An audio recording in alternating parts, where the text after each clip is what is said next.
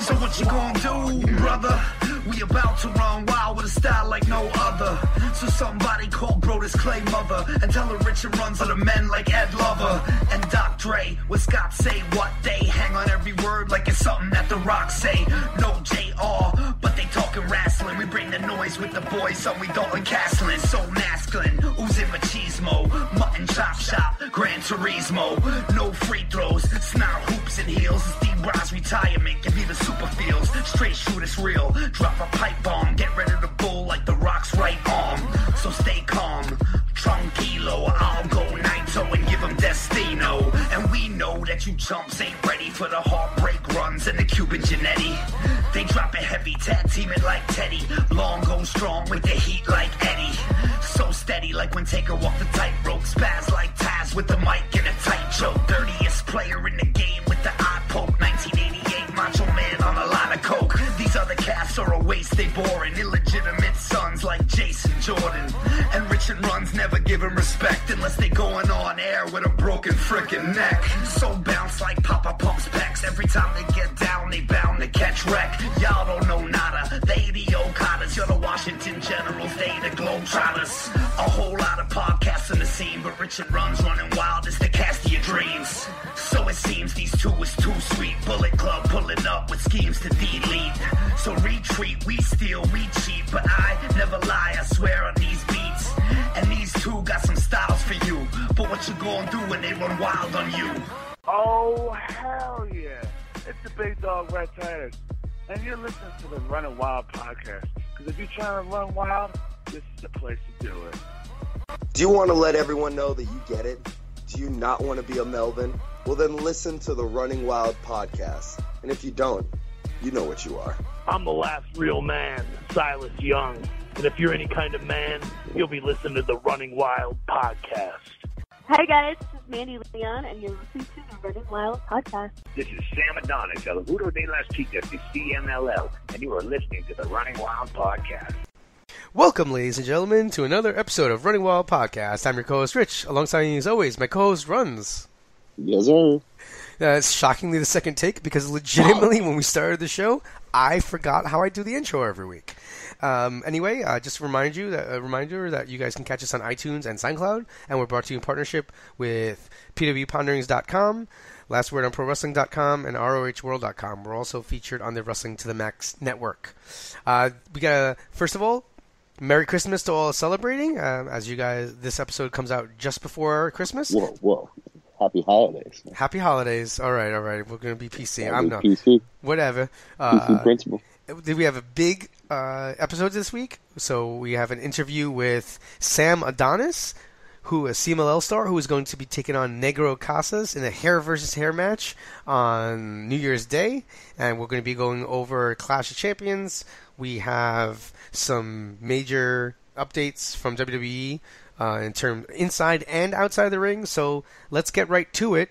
I guess if we're going to do chronologically, what did you think of Clash of Champions? I, I thought it was pretty solid. I, I enjoyed most of it. Um, you know, I I enjoyed the tag match. I enjoyed the title match. They they gave him everything a lot of time, and you know, I thought it was a solid show. Yeah, I mean, it, it felt like a really great episode of SmackDown, but I wasn't. I, it didn't feel very pay per viewy to me. I don't know. Maybe I'm just being picky. Here you this go. I'm I'm gonna I'm just gonna say this. Uh, If the main event was a little better, uh, it, it would have helped. But I enjoyed it more than I enjoyed Final Battle. I I, I enjoyed the wrestling on, the show. I, I thought I enjoyed the the Kevin Owens, Sami Zayn stuff with Daniel Bryan and Shane. I, thought that was well done. I, I enjoyed the match. Uh, you know, I, I don't know. I, I overall I really enjoyed the show. The the four way tag was awesome. The tag was really good. I enj- that was that stood out to me as probably for me the best match on the on the show. I actually liked, even though we were tweeting before or the show started, and I was like, great, starting off the show hot with the uh, U.S. title. But I actually ended up liking it, and I was uh, pretty surprised that Dolph won. And I mean, just because I don't think there's a lot to nitpick from Raw and SmackDown, what did you think about Ziggler coming out and dropping the title the way he did?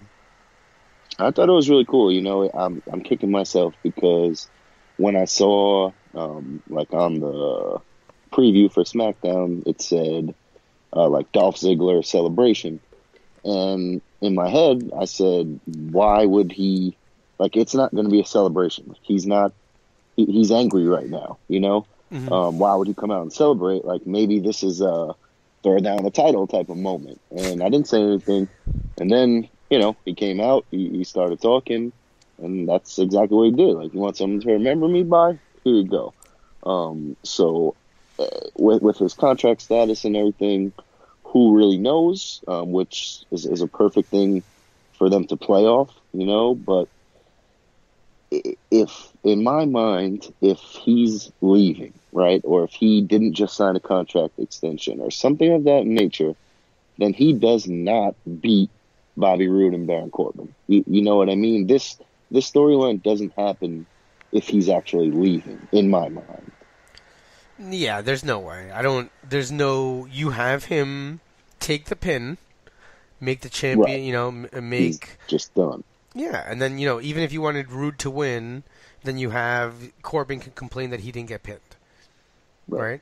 This. and you know he, he's working house shows. He's just not on SmackDown to to sell that storyline. So it, it would seem that maybe he works them for a while, maybe he takes a little break, but you know it, it would seem like this is part of the bigger picture for him, and, and hopefully a revival. You know, Dolph is someone that you know. Uh, suffice it to say, I I've literally been a fan of Dolph Ziggler since he walked around shaking people's hand backstage. For whatever reason, I, I liked him then, and I never stopped. So it- it's it's enjoyable. You know, I, I like this character. I'm interested to see where it goes. It's something different for him. So, you know, uh, I'm more excited now to, to see where this goes because this is not something that happens really ever.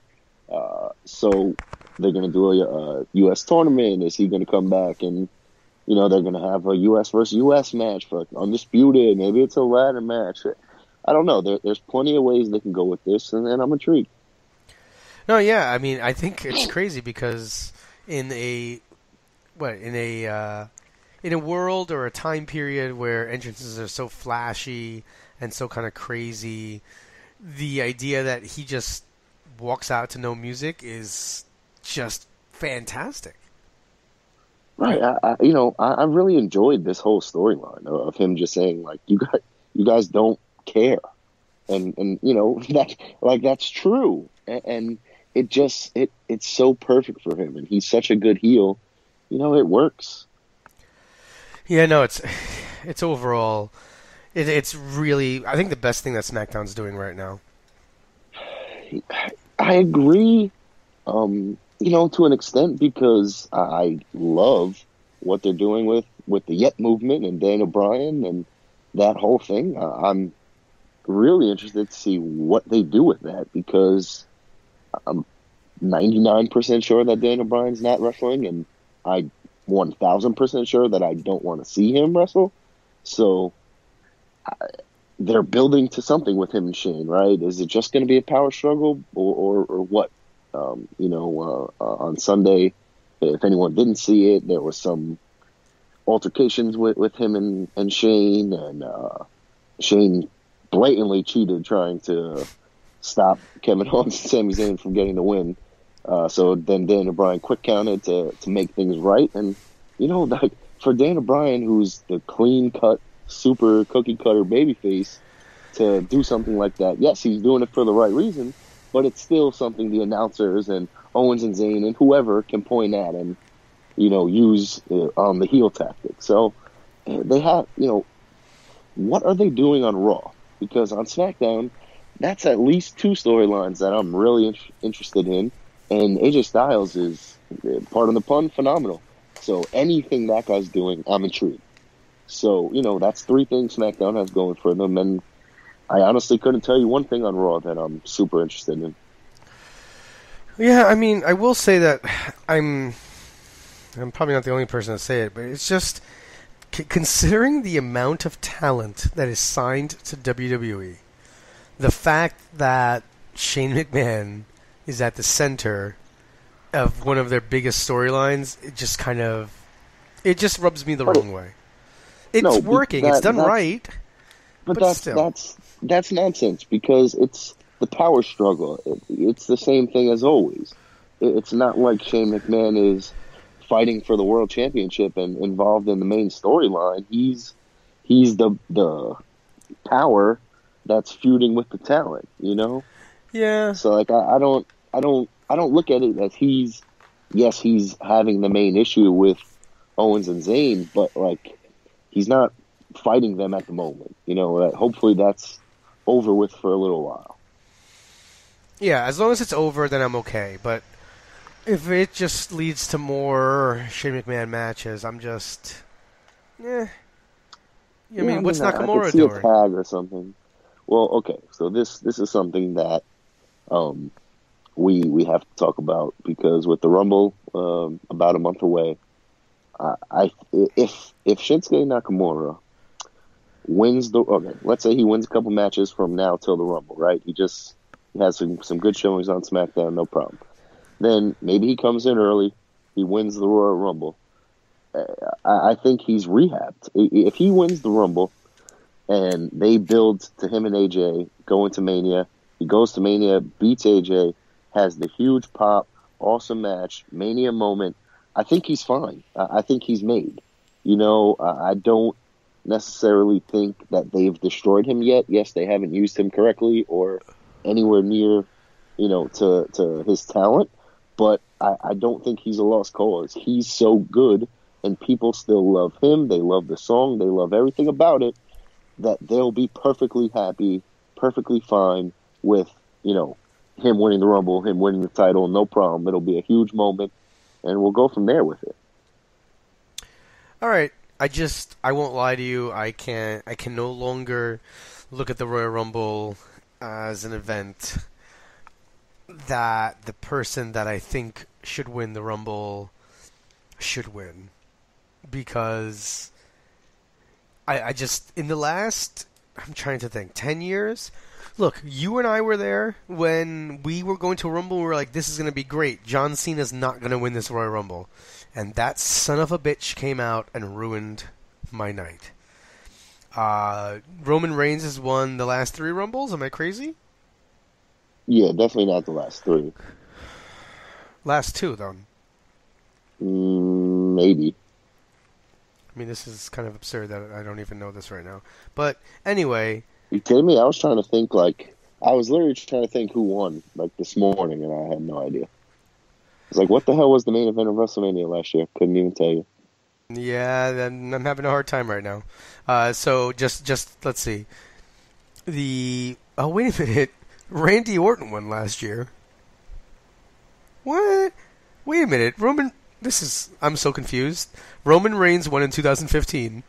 Triple H won in 2016. Right, eliminating Roman, right, or eliminating Ambrose at the end. And then Randy Orton won last year? Randy fucking Orton won the Who Royal hell Rumble did he face year? at WrestleMania? I don't. He didn't face Brock, right? Because that was SummerSlam. Um, I will tell you that Randy Orton. Um, oh, Bray Wyatt won the championship at Elimination Oh. Chamber. Wow, My God, wow. Nope, never would have got that one.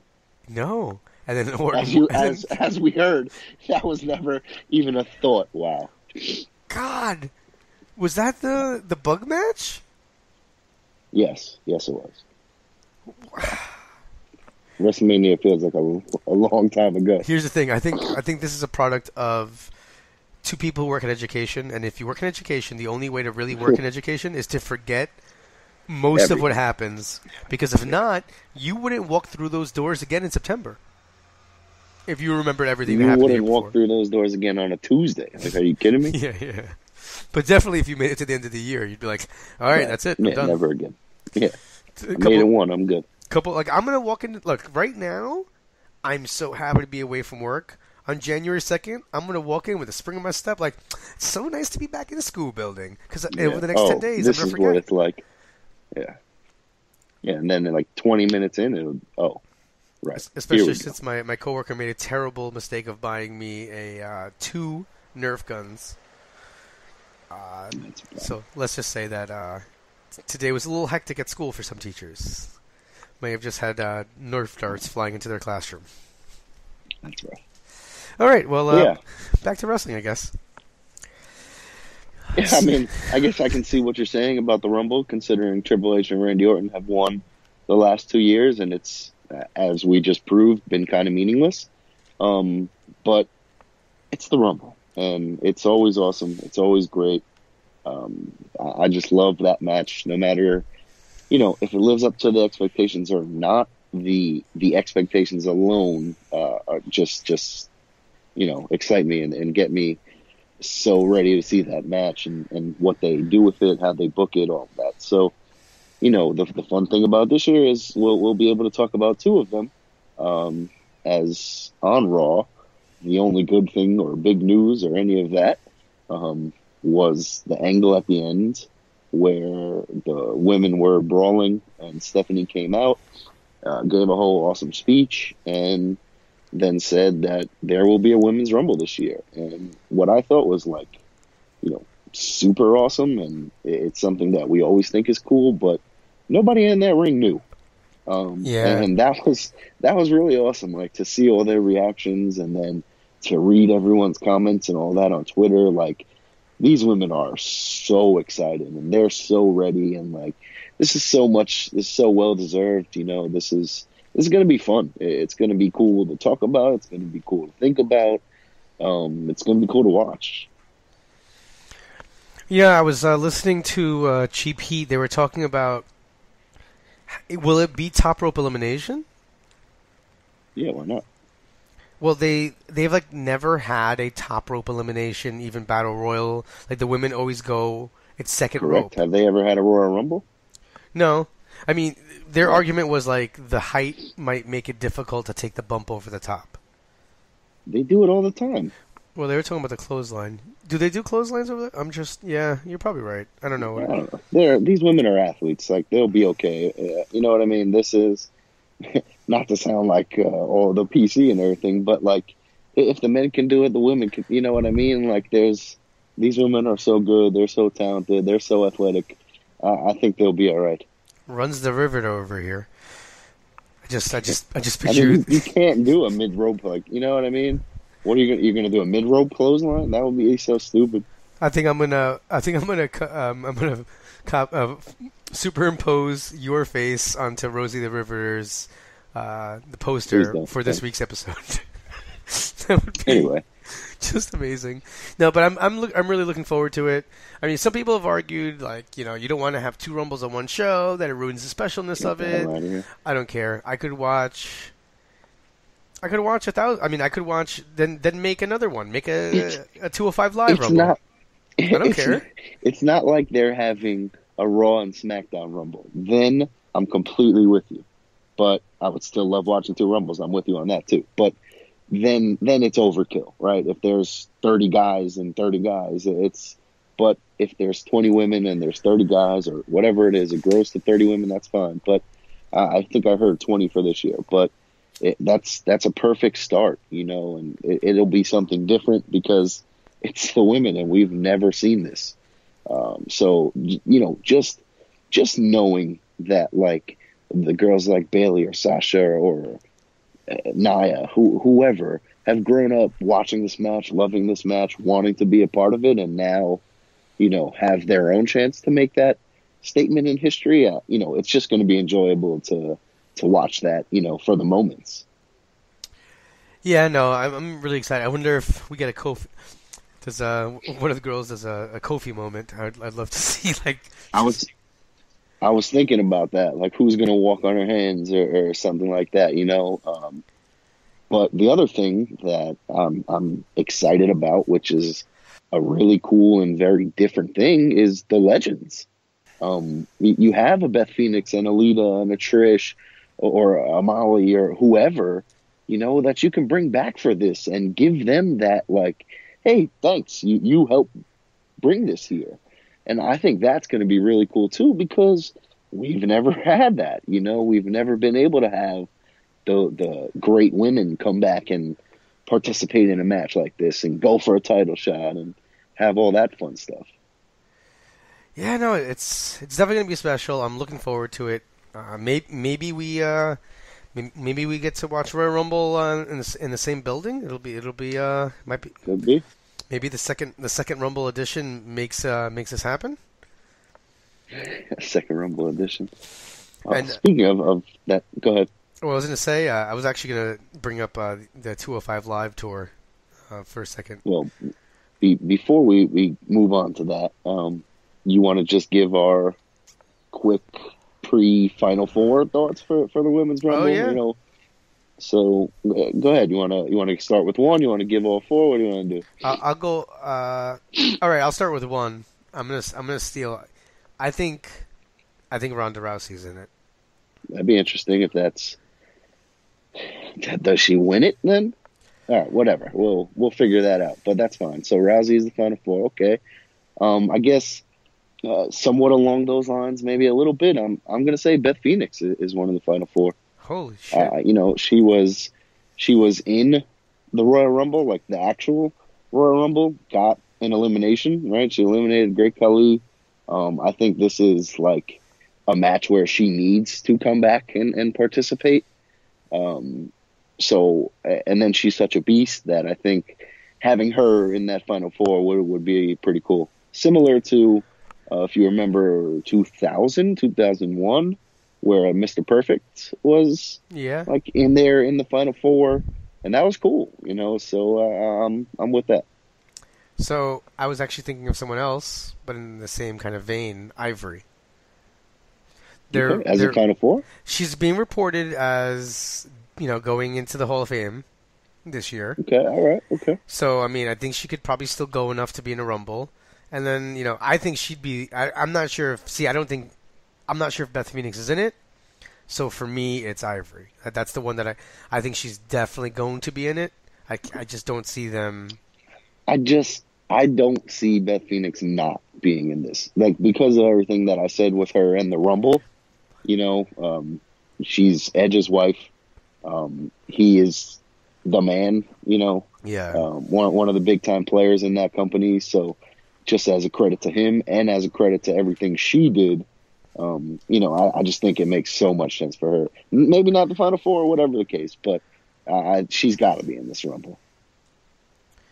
Let's see. Then I'm gonna go Uh, so with. you said all right. So you went Rousey Ivory. I'll go Beth, and I'm going to say Paige. Paige. All right, that's her um, house. with with a legitimate shot of of Paige winning this thing. I'll go with. This tough. Oscar. Okay. I think, I- and I, I- think she could win it. feel like yes, I, I feel like I'm I'm gonna include her in there.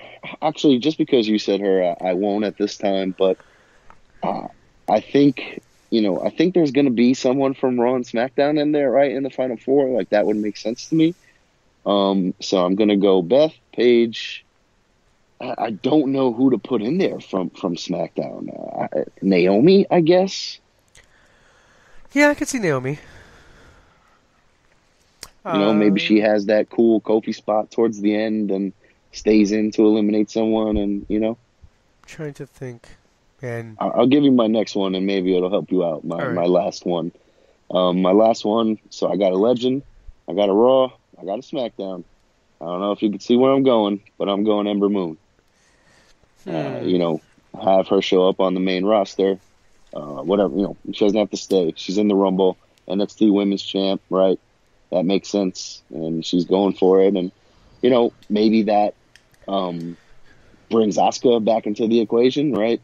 Uh, because they have some history there, so I can see that easily. But you know, um, I, I could also see everyone ganging up on Asuka and, and getting her out of there. So it'll be, you know, it's going to be fun, man. Well, I'm gonna go crazy for my last pick. Very literally crazy. Because I, no, I think it's somebody who. I think the the final four is actually going to round out one person that you know is not going to win, and I think it's going to be Alicia Fox. Santino Marella. My God, I don't even know what I I mean, do. like, he should be in it, you know, just because that would be amazing. But like, I feel like so many people would be like, "Of course, a man." Yeah, yeah, yeah, yeah, yeah. You know what I mean? So let's not do that now. But down the line, if he's down for it, that would be amazing. He'd be so good. Man, he You know, be him and Beth in there. Oh, that would be fantastic. I heard uh, Rosenberg was talking about how he had uh, Daniel Bryan on the show, and after the interview, they were just talking, and he, he was saying, you know, how having Khali was so good because he was like such a like a joke spot after a while, you know, and that that's something like I mean, Raw is three hours of, of there are no jokes. There's no there's no like SmackDown has uh, Yeah, Breezango or you know, New Day, right. you know. Uh, Right. so they get to mix it up. Uh, you don't have that at all. Uh, we, you know, It's a good point. So I mean, it's kind of weird to think about that. You also have Kane in the main event for no reason. So I mean, I guess that's that- kind of that funny. doesn't help anyone. Um, oh, we could talk about Ambrose, right? He um, got written off TV with an elbow injury, um, which apparently was a torn or partially torn tricep. Uh, so I'm not sure how long he'll be out. He had like an hour long surgery, uh, so I'm sure he'll be out a little bit. Uh, hopefully, back in time for Mania. I'm I'm really not sure about that.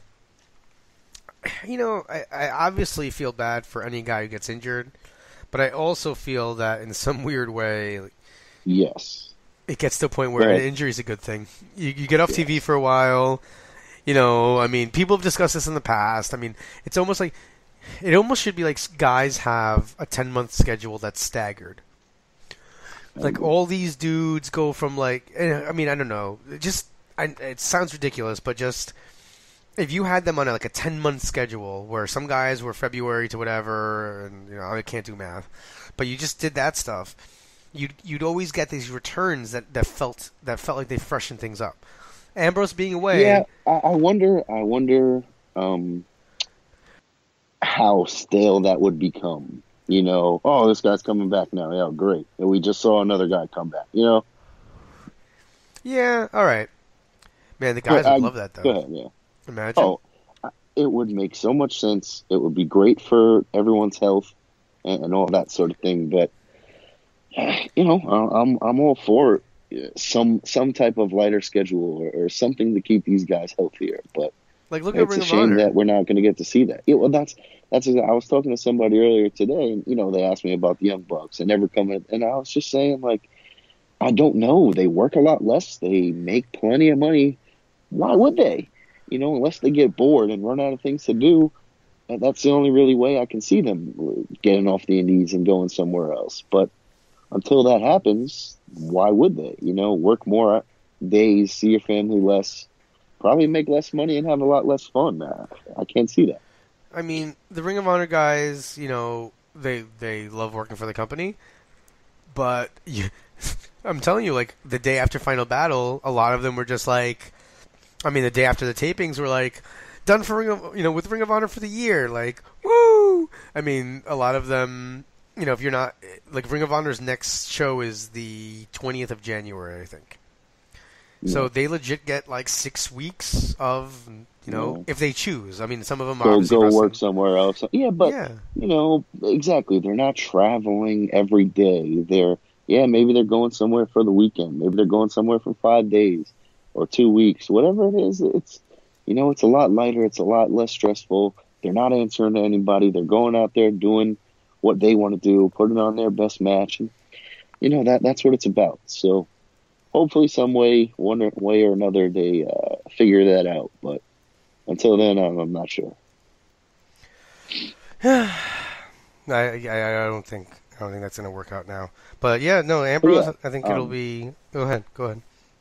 No, yeah, uh, I was just going to say, like, uh, on top of what you were saying, I completely agree that this is a good thing for Ambrose. You know, he didn't look happy, like, with Rollins that it happened.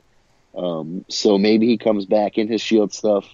They have a match, and he turns on him, and hopefully then he gets out of jeans and goes with just you know crazy Ambrose from NXT and or Moxley from from beforehand. So hopefully we get a, a crazy heel Ambrose since we've never had that, which is kind of crazy. Yeah, I know. I could see him coming back as a heel. Maybe he comes back and attacks someone right away. I think. I mean, he's Right, gonna be Rollins cheered. would be yeah. the guy, right? Yeah, like stop him from winning a title or something like that. So yeah, I mean, you know, I could see Rollins getting a shot at the titles, him coming back to be his partner, turning on him after, or something like that. So, yeah, we're we're in the same boat. This could be a good thing. Hopefully, they use it to their advantage and come back with a with a change. Yeah, that'd be fantastic. I'd, I'd really like to see that. I'm trying to think of what else stood out to me from the shows this week. Obviously, I'm not very excited about Kane and and uh, Kane versus Brock and um and Braun Strowman. Did you? Oh, did you see Braun Strowman Does Kane Elf? just get pinned? Is there any point? No, I did not. You didn't? WWE.com did this whole thing where they like recreated scenes from the movie Elf and and Braun Strowman is Elf. Uh, one of my favorites is the part where uh, you know Will Ferrell in the movie c- breaks into the his father's job while he's interviewing who ends up being Tyrion Lannister, right? He's like the writer that they want to get to write the book, and he makes you know makes elf jokes, and he runs at him. Uh, he runs at Will Ferrell on the table, and it's kind of hilarious, and beats the crap out of him. Well, Drew Gulak played the Tyrion Lannister character and got on the table and ran at him, but then like Braun gets angry and he stops and but like Braun kept doing I mean he was he was all into it. I mean, you know, they had little twists on it, but it was it was pretty funny. Some people were like up in arms that he shouldn't be doing that kind of stuff and it takes away from him and Okay. It, people, wrestling is not real. Like, get the fuck over it. Uh, uh, these guys are playing a character. Have you, like, Braun Strowman is a funny guy. Like, I, I've heard him on a couple, on, uh, like, the Talk is Jericho podcasts and just other interviews. Like, he's he's a normal person. He has interests. He does things. He's not Braun Strowman. You know what I mean? He, he's not a giant freak. Bray Wyatt doesn't live in the woods. Like it, it- you, you got to give these guys some some credit. Let them put on some entertaining things and step outside the box a little bit, man. Like loosen up. Yeah, I don't understand it. I mean, it, I think that's what people are also. What I was talking to somebody about this the other day, but the idea that when you're watching a show, like if you have like a comedy match or like just a different style match that you may not love, you, you also have to think of it as a show, and you just can't have. Like a, say a, a Ring of Honor pay per view because I know they usually have eight matches. You can't just have eight killer matches in a row because Ring by the Honor, time evolve, like you said with Yeah. Raw, there's no comedy, there's no break, there's no entertainment other than wrestling. Yeah, no, you can't do that. You have to. That's why the the you know people were going crazy about the Bucks doing the dropkick spot and flipping out about that. Um, Jim Cornette was like shitting all over it. They had a UFC guy. I think it was Daniel Cormier, maybe. I don't know. No, maybe not him. But somebody basically from UFC tweeted it out. It Was like, you know, this is what grown men watch, whatever. And everyone went crazy, and it was just like that was the match before the main event. Right. You can't and, have like- a crazy high spot match and then have the main event not, you know, live up to that. I agree with that. And I mean, like, the the same people who are complaining about Braun Strowman stepping out of character or whatever, like, eh, I'm I'm I'm willing to bet my life love the elite, right? Like, there's no Oh, question yeah. about that. And look at Marty Scurll. Look at the Young Bucks. Uh, Look at Kenny Omega, the most serious wrestler of the last year, right? One of the best, the best, whatever that people want to say, on the elite or on Ring. of- The dude dressed like Jasmine on a New Japan show and wrestled. Uh, you know, get over it. Th- these guys are entertainers. They're putting on a show. Let them have some fun. It doesn't take away when they want to get serious. Yes, if Braun Strowman comes out dancing like uh, Brodus Clay, then eventually that affects you. But if he's doing a little comedy thing to, to make people laugh on WWE.com, it's really not that serious. Yeah, I don't.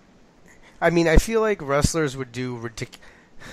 All right, let's think back to the times that WWE, and I think WCW too, but I feel like WWE for sure was on Family Feud. Okay. Weren't Those- they just on Family Feud? Like, wasn't Braun Strowman on Family Feud? or the Wyatt family. Like I'm so upset that I that I would that I missed that. If it, if if it not just like happened. not like last week, but, I, I think like last year or the year before. Yeah, I'm pretty sure.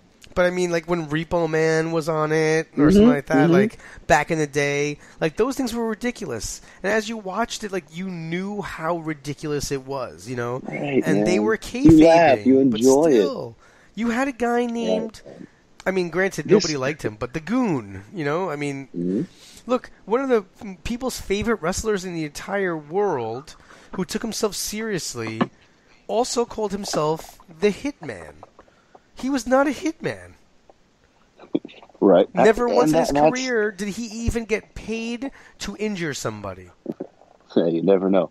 But like that that's that's what I'm saying, you know, like this this whole thing like again, wrestling is not real. It, it is entertainment, it's a show, it- it's a play, it's whatever you want to call it, but like to get upset that these guys are not the person that they play on TV 24/7, that's crazy. And I get it, it's a WWE related thing, so like he's breaking character, but like come on, man.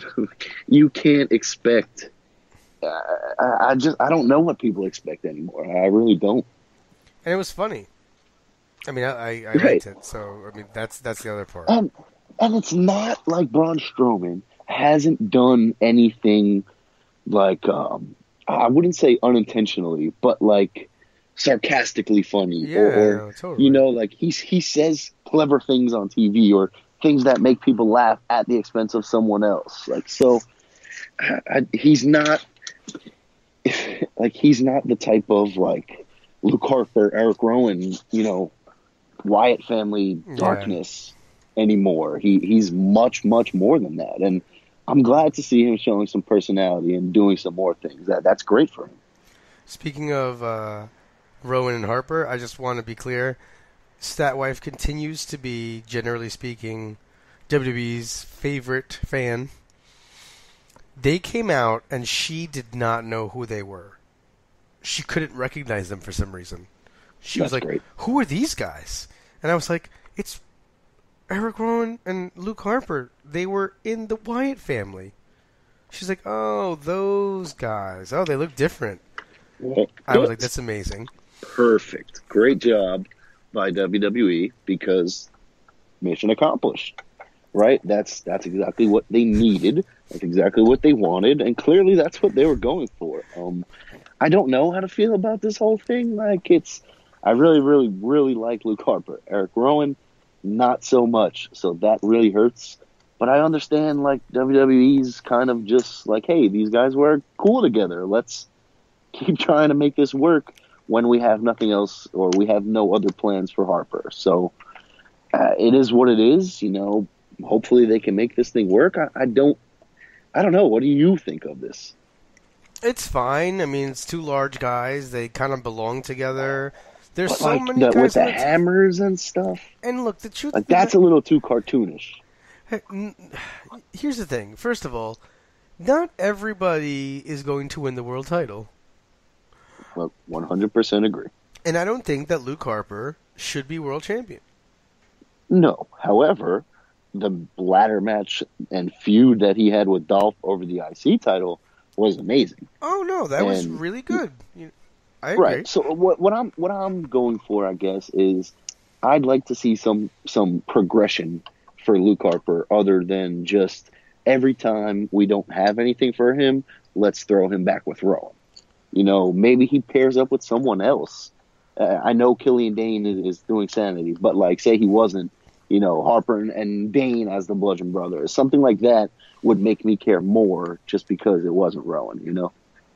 Like I, I feel like Rowan is dead weight at this point. Like clearly, they have no plans for him. They they have no singles, anything for him. Right? Like every time they broke up, he's taken a back seat. Whether he's gotten hurt, whether he's not and just gone away, um, you know, he's always been the odd man out of that group. So when they're together, it, it's just like, oh, okay, Rowan again. So you know, th- that's my only downfall. But I'm glad to see something different. I'm glad to see an opportunity for them and you know, hopefully it works. We we, can use tag teams. So Oh well, you know, uh, we could always use tag teams. They just got to make sure that they actually use them the right Mhm. way. I mean, Right. but that's whatever. Uh, anything else from the shows that you want to uh, cover? I don't believe so. What do you think about so WWN? Uh, that's the uh, the you know umbrella promotion for for Evolve. They announced that there's going to be WWN Club, which is their streaming service. So for nine ninety nine, you can get all of their back content, which is going to include Dragon Gate stuff, all the Evolve shows, and then it's going to also include, I believe, Shimmer. Is it Shimmer and Shine? I'm sorry, Shine Yeah, those- definitely. Not Shimmer. Those are probably not Shimmer. I think Shimmer is It's on Shine. High Spots yeah, or whatever. But yeah, uh, Viva La Lucha, FIP. yeah, it's all the stuff. It's all the stuff that that they've been streaming for the past couple of years or, or Mhm. however long. You know, it's their umbrella of stuff, the FIPs and all of that. And I, I is that worth ten dollars a month? I, I really, really don't know. Like, e- Evolve is running what two shows in four months. Yeah, or four shows in four months, whatever it is, with a two month break in between. So, like, I'm gonna pay an extra twenty dollars for what in that time? And you know, during those months where they don't have shows or things of that nature, what am I paying for? I'm paying, yes, I know, on demand. So maybe I'll use this like like I use High Spots. Like every now and then, I'll subscribe. I'll watch as many shows as I want, and that'll be it. But I'm really not sure I want to watch those old Dragon Gate shows. Like, I, I know who's on them. I, I knew about them back in the day, and you know now guys like Chuck Taylor and Gargano and AR Fox and whoever else that were on those shows are in a higher standing. But I can't say that I care to watch them. So I really don't know. Yeah. I mean, so the, the, also the way they're doing it is they're offering you a discount per pay per view. You know, so I mean, okay, if you were to if you bought Shine also, which is like once monthly, and Evolve has two shows per month, that's normally forty five dollars. So you get like a fifty percent discount. The only and then apparently after two weeks, the on demand version will go up. Uh, but I think actually the it'll go to the entire thing two weeks later. Uh, you know, so what I like is that they're doing a they are doing a free subscription for January. So Okay. you know, I kind of want to see how it goes also because if you remember at first, FloSlam had problems with some of the streaming.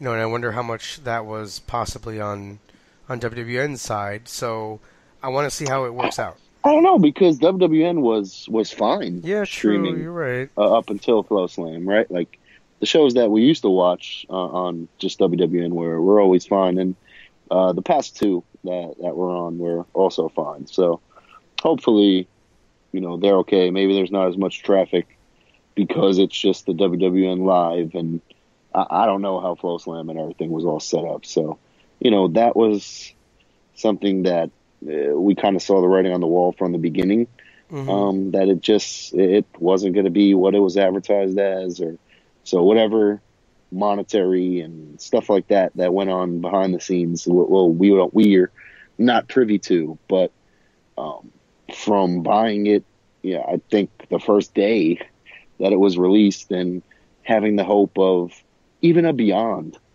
You know, I knew PWG wasn't getting on there.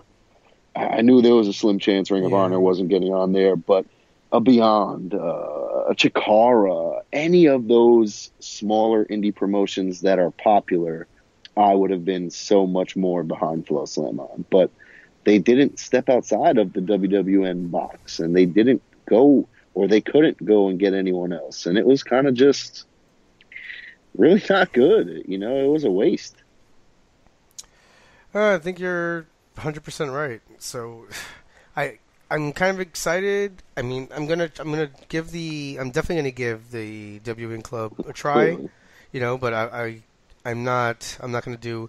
I'm glad that there's not a thing like FloSlam where it's like you know we'll get it for the year and it's this much. I do wish I think, and this is something that I think is a problem for for every single company that wants to do something like this WWE offers so much more for nine ninety nine. Right, and the bigger product, the bigger names. So does New Japan. Um, the exact same thing. Yeah. So It's it's real and, and and with New Japan, you don't have to pay extra for the for the pay per views, right? It's like included. Right. Everything is included. All of their house shows, all of everything is on there um, for nine ninety nine or eight ninety nine, whatever the hell it is. And you know, New Japan, uh, they go a couple months without a big pay per view, right? So you you can say, oh, but how come you're not complaining about that?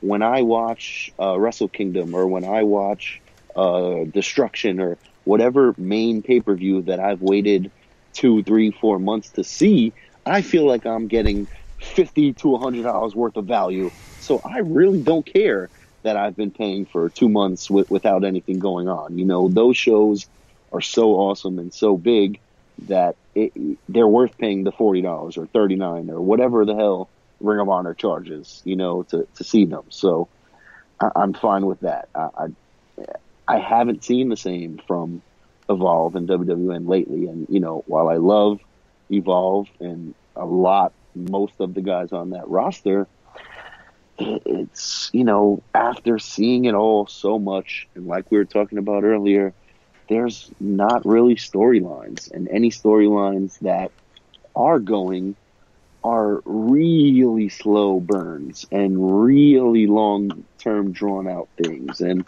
you know, seeing Matt Riddle versus Catch Point or seeing those kind of things continuing, eh, you, you- get you get bored of them, you know. Yeah, I mean, I do like the little bit of an evolution here with with uh, Riddle's character. You know, kind of saying he's not just the bro, which he did do himself, but you know, he's he's not just a bro anymore. So I think that's great. I like what they're doing with uh, Dickinson in terms of like you know he got suspended and he's kind of running again. He, he's unhinged. So, so are you paying fifty dollars to go to the next show? It all depends, sir. To be honest with you, I have made I haven't made a final decision about which day I'm going to see them because I'm thinking, uh, you know, WWN or Evolve, Gabe Sapolsky are offering the creative seminar in Brooklyn. Right. So if I go to the Brooklyn show, if I go to that seminar, I'm not going to go to Friday's show. Friday, Like, whatever, the day before. You, Whatever, you get what I'm saying. So, so that that all depends. I am not going to lie to you though. Like I'm kind of, if I don't go to the seminar, I, I do. I am thinking about going to La Boom. I just miss La Boom.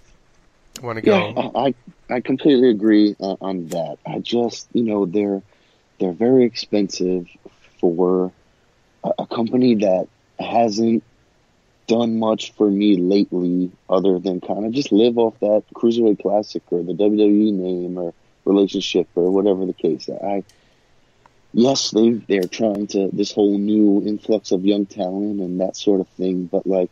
I feel like there's plenty of young talent out there already that kind of have a name that they could use as well. You know, someone like uh, Chuck Taylor, who I- I've seen him say publicly that Sapolsky just stopped booking him. Uh, that's something I don't get. Like that guy was awesome in his role in Evolve. He's really talented, really a, a funny guy when when he plays that comedy character, which he wasn't doing in Evolve, which he could have at any point. Um, you know, and to just stop using him, and that's someone that that I would actually pay to go see right now.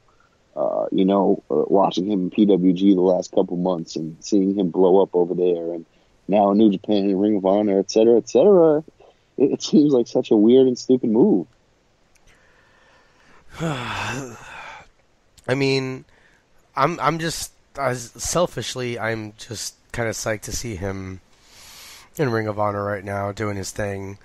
Uh, definitely not really doing the comedy as much, but I think that's gonna. I mean, he does. They do the him and Trent do like the Trent does the slingshot, then like does the what is that called? A face. You know where he puts his, you know, I, I forget what you call that, and then they they call it two. Oh, it's two something.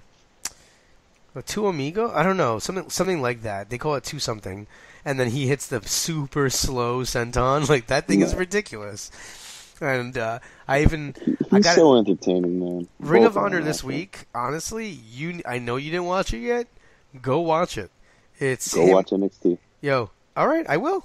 I will. We are. Listen to I me right now. I, I'll bet you any amount of money NXT was better. Yo, you have a 10 day window right now? You have a 10 day window where I'll probably watch anything you tell me to watch. Incorrect, but all right. All right?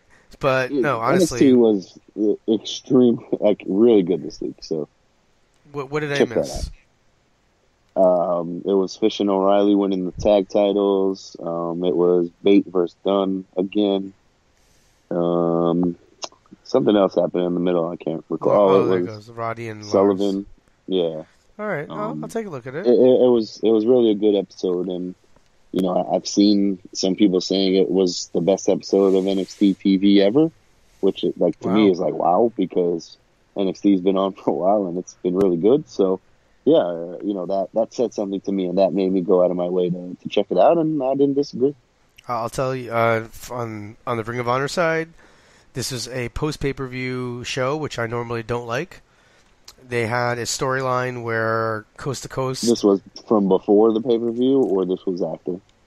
This was the so this was taped before, but Right, that's- shown that's after. Yeah, No, but yeah, shown okay. after, and it See, was like so. You're okay. So you're already digging a hole right there with me. well. Okay, I know, You know that. but listen, Uh, Rocky so go ahead, Romero, go ahead, yes, Rocky ahead. Romero, Trent Beretta, and Chucky T versus Kenny Omega and the Young Bucks Right. for the six man titles in the main event. Also, you had this coast to coast loses, and they say. I literally think I just saw that on New Japan. But anyway, coast to coast loses. They say that they uh, they're going to disband they, if they lose their next match. boy. They finally got on the mic. Like I was like, oh my god, they gave them mic time. And uh, there are some spoilers, but we can. I don't think we don't need to discuss them now. But actually, you know what?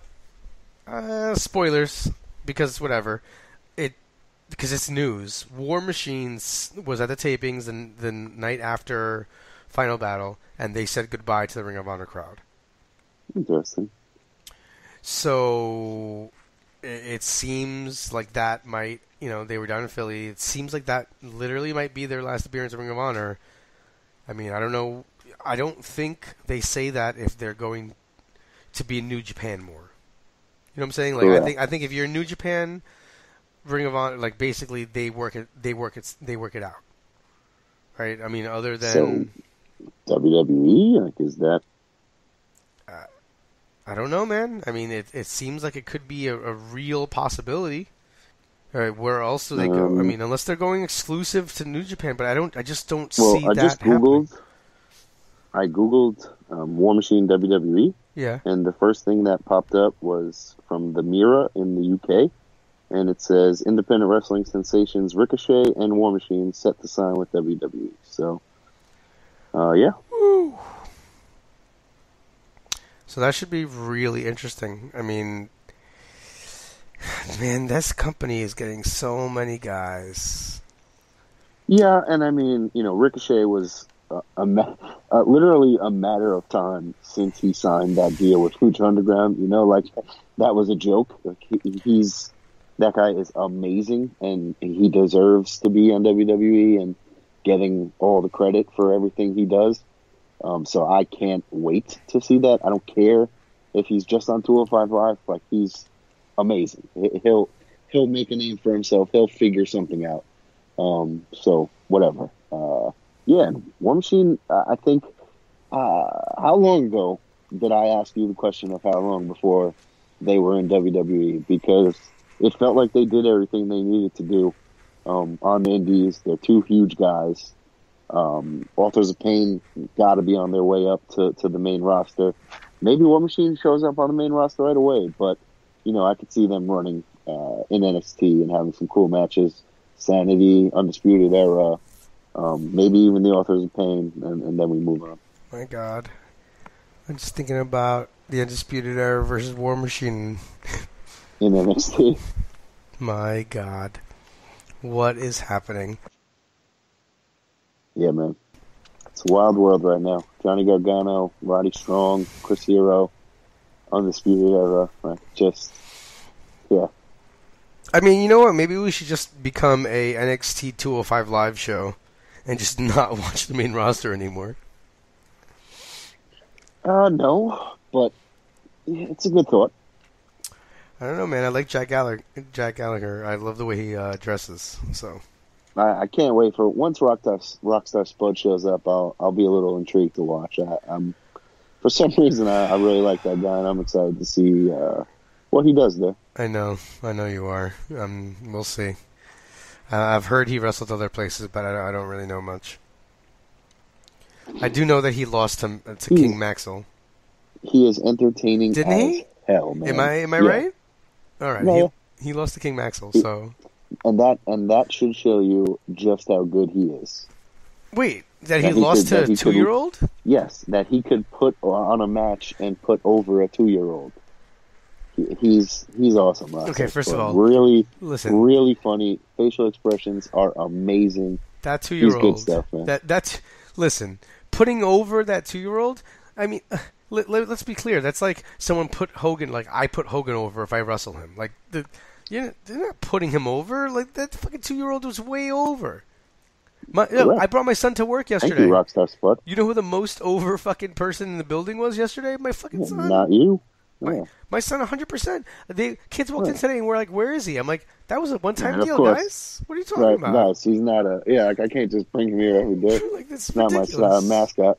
That'd be awesome.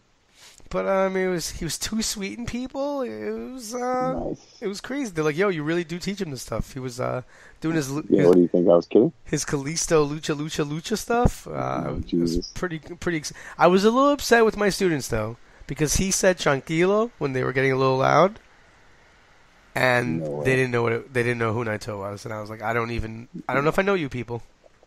Well, But then again, I was probably in the same boat last year, so I'm not sure if I. I'd be like this Naito guy who keeps coming to Global Wars. I'm kind of sick of him. I should do a comp. You know, if I had the uh, if I had the energy to, to bury myself, There you go. There you go. If I had the energy that to would bury be a myself. good one. like All the all the Ring of Honor guys that you crapped on, or New Japan guys you crapped on, that now are just some of your favorite people. man, I I really could. We because I know I say some absurd shit. Uh, generally speaking, where you stay in the middle more often, and I know for a fact without listening back, I, I you know the only thing is is like I think if I gave you the archive to go do it, I don't think you would. Uh, I don't think you'd have the patience.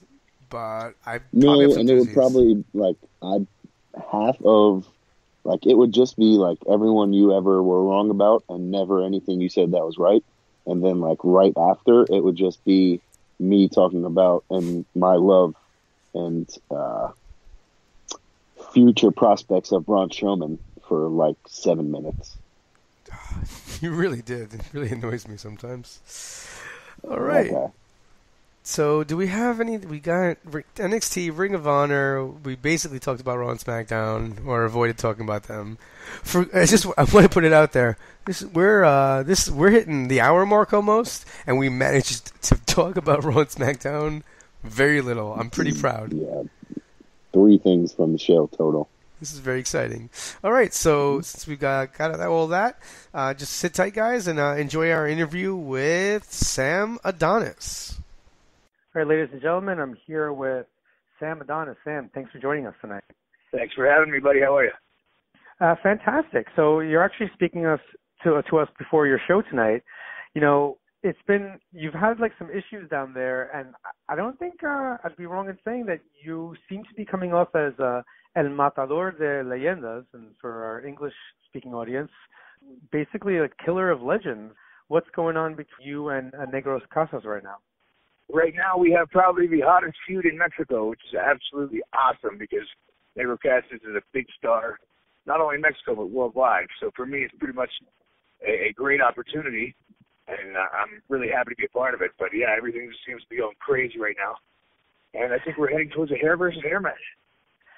Do you have any idea uh, when we're looking? Like, uh, I know that usually there is an, an apuesta match, uh, either at the Christmas show or the New uh, the New Year's Day show. I'm sure it'll be somewhere around that time. I'm not exactly sure what the date will be, but I think this coming Wednesday we have a press conference to decide what it's going to be. Will that be on CMLL Informa show? I'm not sure when it's going to be exactly, but I know uh, we're probably heading towards the contract signing. So the best thing to do would just be keep checking CMLL.com for more information. And so this all started really with the hair versus hair match that you had with Blue Panther. What was what was the reaction when you actually won the match and you're sitting there in the middle of Mexico City, uh, Arena, Mexico, and about watch him get his haircut? It was absolutely awesome because uh, Arena Mexico was silent. And anybody that's ever been there knows it's not exactly a normal thing to happen. So people were pretty much in shock and they couldn't believe that I actually beat him. But from that point on, my career pretty much skyrocketed. Yeah, and part of that, you know, can be attributed to uh, the chance you took with coming out as as a supporter of Trump with the American flag. I mean, playing a really classic heel. Would you say? I mean, I, from I wasn't there, but watching some old like Memphis stuff and uh, things like that, Jim Crockett Promotions, it, it seems like you're getting the type of heat that these guys got in the 70s and, and early 80s. Well, that's kind of what I'm going for because I've always been a big fan and supporter of classic wrestling. I feel like uh, wrestling has gone in a different direction these days, and I really wish it would return to those roots. So, you know, the fact that people can make those comparisons is pretty much a big compliment for me because that's, you know, really what I was trying to do. Now, you started training, or in the United States, then you trained in England, and now you're in Mexico. How has the the clash of styles, or how have you been able to kind of incorporate everything that you learned from these different regions into what you're doing right now? Well, I've really done what I could to make sure that I can be the best wrestler on the planet. You know, that's kind of what I'm going for. So I'd really like to learn every style and be able to, you know, bring something to the table that not everybody else has. So I've been able to uh, incorporate that classic 70s, 80s wrestling, you know, but at the same time mesh with international stars. Now in CMLL, you have this uh, issue with Negro Casas. You've had the issue with Blue Panther. Do you feel like this is going to be something that you see continuing with issues with specific, especially guys who are legends down there? I mean, is there any chance that, Ultimo Guerrero is in your sights heading down the road? I would I would love to work with any of these guys, Ultimo Guerrero, Atlantis. Um, the good thing is I'm such a strong force right now, and, and the heat is so strong that you know people really look to their legends, their heroes that are dependable to, to vanquish the villains. So uh, I don't know where it's going or what's going to happen, but I know that I'm very confident with what I'm doing, and I think it can continue for a little while longer. What was it like when you first moved down to Mexico? Uh, you know, being able to just be in a different environment and you know be surrounded or blanketed by a language that is not your your first language. Well, I was lucky enough that I was able to learn it pretty quick. Um, I've adapted, and uh, uh, you know, I've really took to Mexico, and Mexico's kind of taken to me as well. So um, I'm pretty happy everything's gone the way that it has. But it, it's all just part of you know sacrificing to become one of the best, you know, and doing whatever it takes to succeed in this wrestling. What was it like for you during the the recent earthquake? You know, it was obvious that you, you were down there, and uh, not just you, but all of CMLL was really trying to help the people and the fans of the product, but not just the fans, but people in the city. What was it like for you to interact with fans that normally are booing you mercilessly, and then here you're you're helping them out in, in really spectacular well, ways? I think a lot of the people realize the fact that I live in Mexico, that I respect the Mexican culture, you know, really do my best to fit in but it was definitely a scary situation, and everybody needed to come together because you know the city needed some support at that point in time. Is there, you know, with the partnership that CMLL has with Ring of Honor and New Japan, do you have any inclination to want to uh, appear for those companies as well? I would absolutely love to. It's just a matter of time and the opportunity. So um, I think if I continue doing what I'm doing, I'm sure the possibilities are endless. What was it like earlier this year when you did adopt the Trump supporter role, uh, getting so many people reaching out to you. I mean, you know, it was a really big deal. It was all over the news. And definitely something that I think people picked up on and, and wanted to know about. Uh, it was definitely a great opportunity because you know anytime you get that kind of coverage outside of wrestling, you know it's clearly going to add to your reputation. So you know anytime I have those situations, I do what I can to embrace it and make it work. You, are you able to make appearances or speak to media in, in Mexico so that you know your brand is growing there as well? Oh, of course. Uh, CMLL has connections with all the major media ties. Um, it's a big major league operation, so um, I've been able to branch out. I've been in TV series. I've been on a, a lot of you know radio and whatnot. So the opportunities just continue to grow, and I couldn't be happier. Do you miss being in the states a little bit? Oh yeah, but I still you know it's a misconception. People think that Mexico is you know so far away, but it's just like living on the West Coast. You know, a three-hour flight, and I'm back in Florida. So um, I've adapted, and I really enjoy the lifestyle here.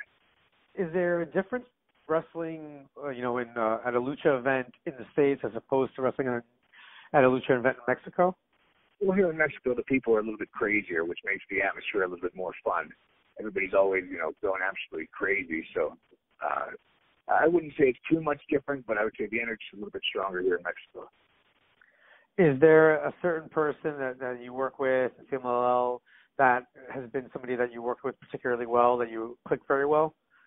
There's so many guys here that are just some of the best in the world. Um, I can't say anyone in particular, but I'm happy always to work with Blue Panther, Negro Casas, or Ultimo Guerrero, any of these guys, because they are on a different level. And what are some of the aspirations that you have, you know, moving forward this year and, in the future? I just want to continue, you know, making my name stronger, and, you know, branching out to other markets, and continue to you know, stay somebody that people talk about and somebody know about in wrestling. Do you have any uh, fear going forward that you're you keep putting up your hair in these apuesta matches? It seems that at some point or another, everybody seems you eventually lose one or another. Well, um, it's bound to happen, I'm sure, but hopefully I can you know keep the odds in my favor and keep collecting them before I lose mine. Maybe I can get out of town before I have the chance to lose mine. Have you ever had to really head out of the arena quickly after a match because of the heat you were getting? Um, I wouldn't say any quicker than usual, but uh, I always have my guard up and I make sure I don't make any silly mistakes. So, uh, you know, as long as you pay attention, it's, it's usually not that big of a problem. One last question: How did you come up with El Rudo de las Chicas and, and and that kind of was that something that you always had an idea for going down there? Yeah, that was something I kind of thought of before. And most Rudos here are, you know, along the lines of demons and we're black, and it's just something different. I'm a bit more colorful and a, a bit more, uh, you know, not quite technical, but I, I just bring something different to the table. All right, excellent. How, how where can people find you on social media? Uh, if you could check me out on Twitter at uh, Real Sam Adonis, that would probably be the best bet that I have on my matches, on my updates, things like that.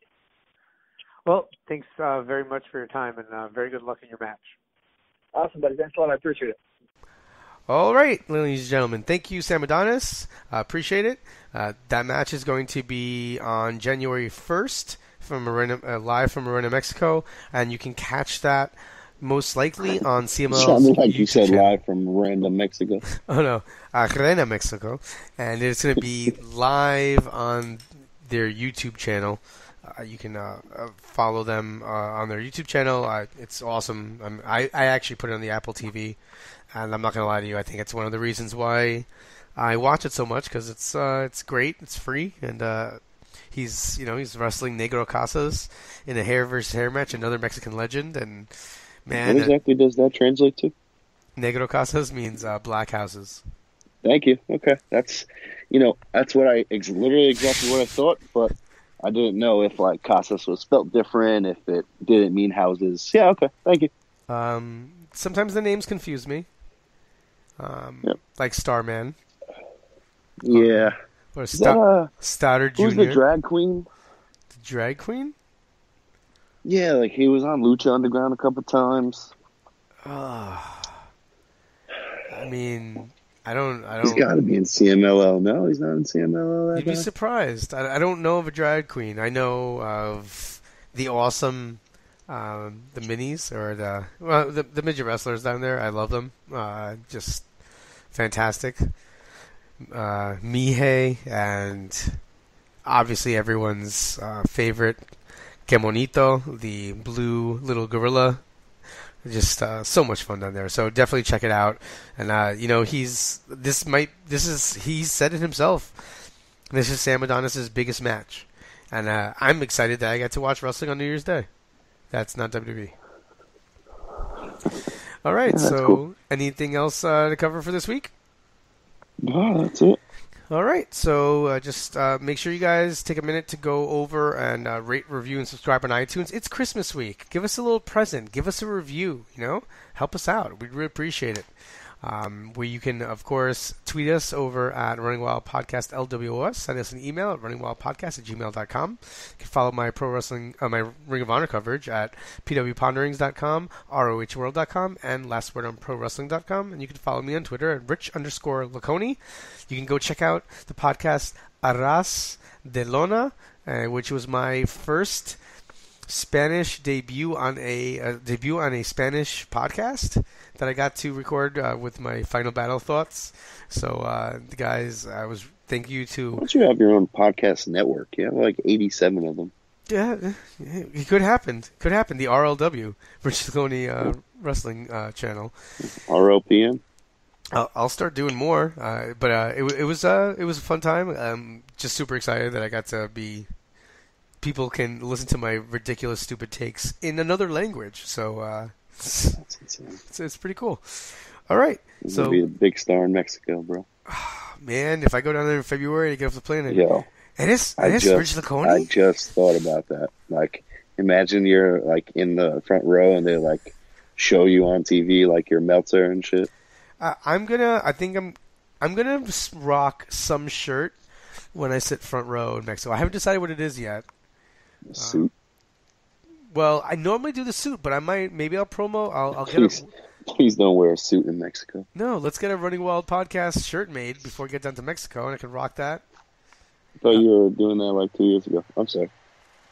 Yeah, I'm just you know, been a little behind. I got ten days, buddy. I got ten days. Nah, uh, All right, guys. Well, thank you guys for joining us. Thank you for all the new listeners because we've noticed our numbers going up lately. Really appreciate that, and uh, we'll they catch. jumped from nine to thirteen. Those are uh, thousands. Thank you. Thank you for. He likes to abbreviate, uh, so he just says when we're talking about our listeners, we're always talking about the thousands.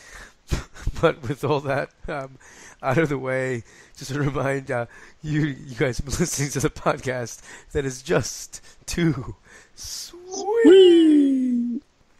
For Rich N Runz, this is the host of Ring of Honor Wrestling, Ian Riccaboni, signing off. Be sure to join them next week for another episode of the Running Wild podcast.